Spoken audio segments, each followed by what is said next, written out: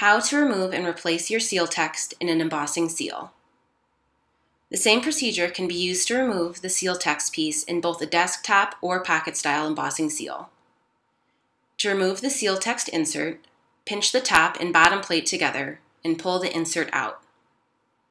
Insert the new seal text insert by pinching it together and lining up the prongs with the correct holes on the seal body.